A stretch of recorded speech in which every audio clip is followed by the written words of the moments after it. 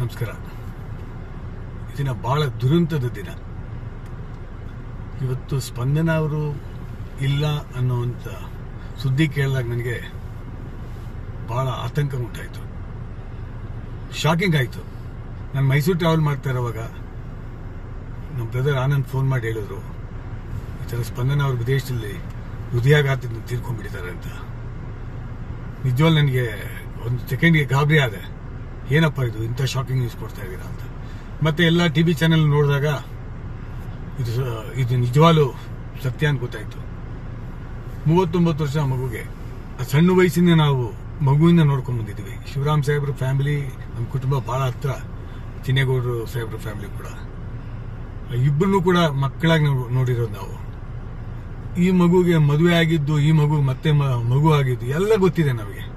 ಕಣ್ಣು ಮುಂದೆ ನೋಡಿರೋ ಮಗು ಇವತ್ತು ಮೂವತ್ತೊಂಬತ್ತು ವರ್ಷ ಇಲ್ಲ ಅಂತಂದ್ರೆ ಇದು ವಿಧಿ ವಿಪರೀತ ಅಂತ ಆಡಿದೆಯಲ್ಲ ಆ ರೀತಿ. ಯಾಕೆ ಸಣ್ಣ ವಯಸ್ಸಲ್ಲಿ ಸಣ್ಣ ಮಕ್ಕಳು ಇಷ್ಟು ಬೇಗ ನಮ್ಮನ್ನ ಬಿಟ್ಟು ಹೋಗ್ತಾ ಇದಾರೆ ಏನು ಅರ್ಥ ಆಗ್ತದೆ ತುಂಬಾನೇ ನೋವಾಗಿದೆ. ಆ ಇಡೀ ಕುಟುಂಬಕ್ಕೆ ಶಿವರಾಮ್ ಸಾಹೇಬ್ರ ಫ್ಯಾಮಿಲಿಗೆ ಮತ್ತೆ ಚಿನ್ನೇಗೌಡರು ಸಾಹೇಬ್ರ ಫ್ಯಾಮಿಲಿಗೆ ಈ ದುಃಖವನ್ನು ಭರಿಸಲಿಕ್ಕೆ ಆ ಭಗವಂತ ಶಕ್ತಿ ಕೊಡಲಿ ಅಂತ ಪ್ರಾರ್ಥಿಸ್ತೇನೆ. ನಮಸ್ಕಾರ.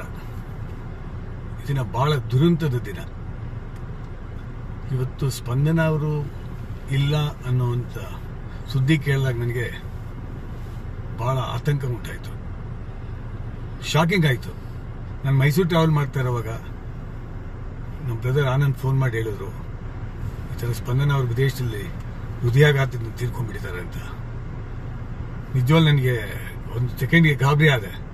ಏನಪ್ಪ ಇದು, ಇಂಥ ಶಾಕಿಂಗ್ ನ್ಯೂಸ್ ಕೊಡ್ತಾ ಇದ್ದೀರಾ ಅಂತ.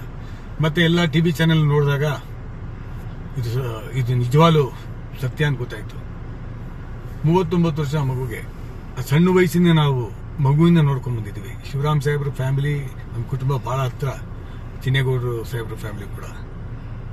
ಇಬ್ಬರನ್ನು ಕೂಡ ಮಕ್ಕಳಾಗಿ ನಾವು ನೋಡಿರೋದು ನಾವು. ಈ ಮಗುಗೆ ಮದುವೆ ಆಗಿದ್ದು, ಈ ಮಗು ಮತ್ತೆ ಮಗು ಆಗಿದ್ದು, ಎಲ್ಲ ಗೊತ್ತಿದೆ ನಮಗೆ. ಕಣ್ಣು ಮುಂದೆ ನೋಡಿರೋ ಮಗು ಇವತ್ತು ಮೂವತ್ತೊಂಬತ್ತು ವರ್ಷ ಇಲ್ಲ ಅಂತಂದ್ರೆ ಇದು ವಿಧಿ ವಿಪರೀತ ಅಂತ ಆಡಿದೆಯಲ್ಲ ಆ ರೀತಿ. ಯಾಕೆ ಸಣ್ಣ ವಯಸ್ಸಲ್ಲಿ ಸಣ್ಣ ಮಕ್ಕಳು ಇಷ್ಟು ಬೇಗ ನಮ್ಮನ್ನ ಬಿಟ್ಟು ಹೋಗ್ತಾ ಇದಾರೆ ಏನು ಅರ್ಥ ಆಗ್ತಲ್ಲ ತುಂಬಾನೇ ನೋವಾಗಿದೆ.